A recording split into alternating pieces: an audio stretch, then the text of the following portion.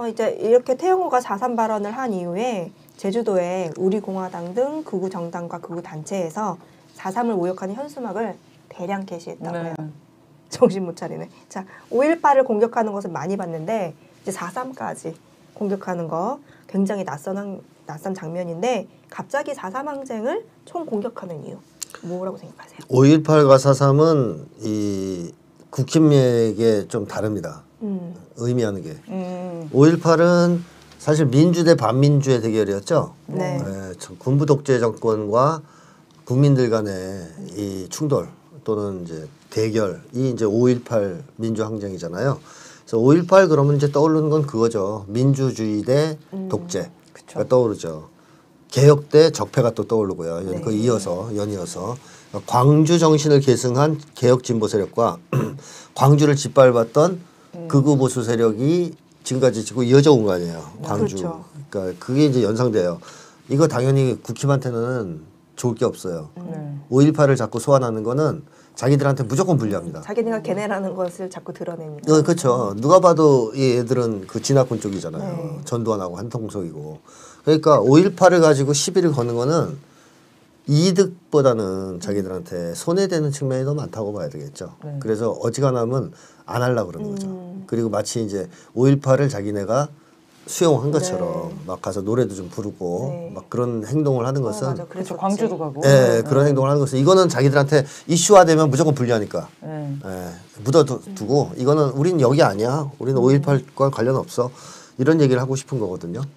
근데 4.13은 4.3은 얘네들한테 어떤 의미냐면 이념 대결이라고 보는 거예요. 네. 얘네들은. 음. 사실 이념 대결은 아니에요. 이게 아까도 얘기했듯이 어, 분단을 추구하는 세력과 통일을 지향하는 세력 간의 충돌. 음. 그 다음에 좀 더 협소하게 얘기한다면 미군정과 그 당시에 진압 세력의 가혹한 네. 무차별적 탄압과 학살. 네, 죽고 여기- 있을 수 없었죠. 그렇죠. 네. 거기에 대한 방위적 항쟁의 성격이 훨씬 강하단 말이죠. 협소하게 보면. 근데 얘들은 이걸 무조건 이념 대결로 본단 말이에요. 제주도 4.3이라든가 남쪽에서의 빨치산 항쟁을 다 이념 대결로 봐요. 빨갱이 대 이쪽 세력, 극우 세력의 대결. 뭐 이렇게 이제 몰아간단 말이에요. 그러니까 4.3을 소환하는 것은 이념 대결을 한국에서 재현하는데 유리하죠. 얘네들이 볼 때. 네. 네. 그 친북 대 반북 같은 거로 이제 구도를 만든다든가. 그래서 국힘한테 유리하다. 왜 유리하냐? 지금 국힘 윤석열 정권과 국힘은 공안 정국을 조성하고 싶어 하지 않습니까?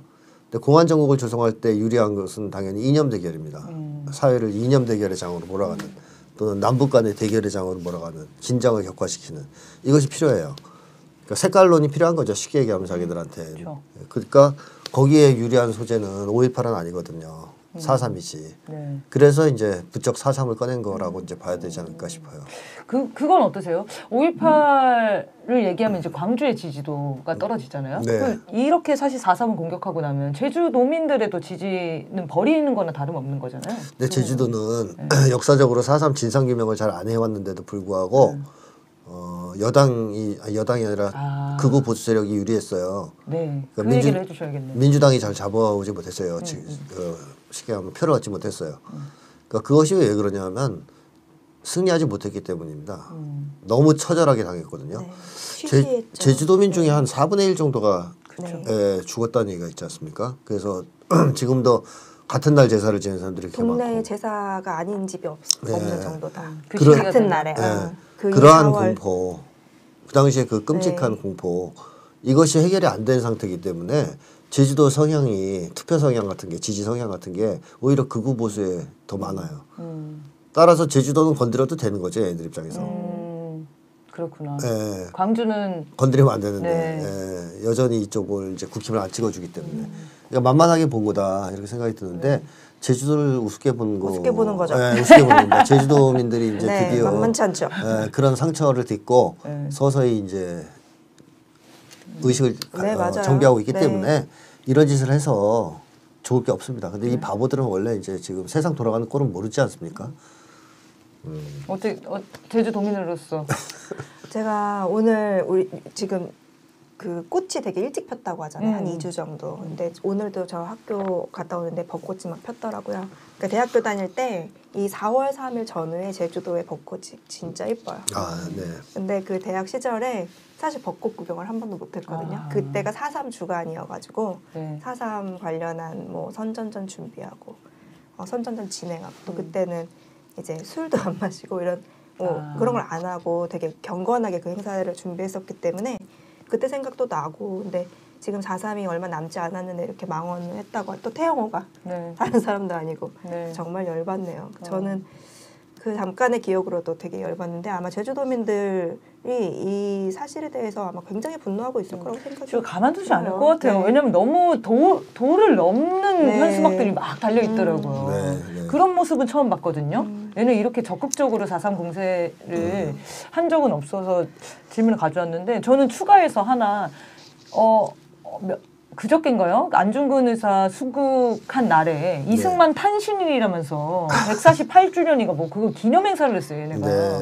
그 이승만 박물관인가 기념관에 건설한다는 거예요. 음. 건립한다는 거예요. 거기에 이제 박진도 가고 음. 온 여당 사람들이 다 참석했더라고요. 음. 그래서 최근에 지금 이승만을 또 띄우려고 하는 음. 이 시도. 요것도 이념 그 대결의 네. 흐름에. 있겠죠. 그렇죠. 연장선에 있는 것 같네요.